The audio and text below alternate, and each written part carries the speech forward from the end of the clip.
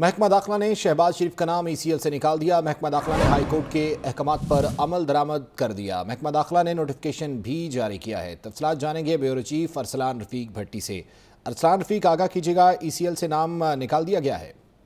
جی گزشتہ روز جو ہے، یہ دو روز قبل جو ہے، ای سی جو لوہار ہائی کورٹ کا فیصلہ تھا، وہ تفصیلی فیصلہ جاری کیا گیا۔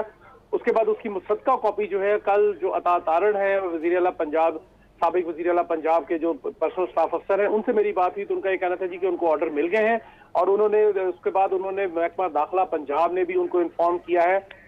باقاعدہ خط کے ذریعے کہ ان کا نام جو ہے وزیر اپوزیشن لیڈر اور سابق وزیر اعلیٰ کا نام اس ای سی ایل سے نکال دیا گیا اور وہ جہاں جانا چاہتے ہیں، اگر وہ باہر ملک سے جانا چاہیں تو وہ جا سکتے ہیں۔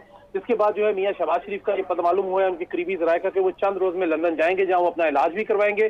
اور ان کی جو پوتی یعنی میاں حمزہ شہباز کی جو بیٹی پیدا ہوئی ہے اس کی تیمارداری بھی کریں گے اور اس کے بعد وہ کچھ دن وہاں رکیں گے چار سے پانچ روز اس کے بعد واپس آ جائیں گے۔ لیکن اس بارے میں ابھی حتمی فیصلہ نہیں ہو سکا کہ وہ کب جو ہے بہت شکریہ آپ کا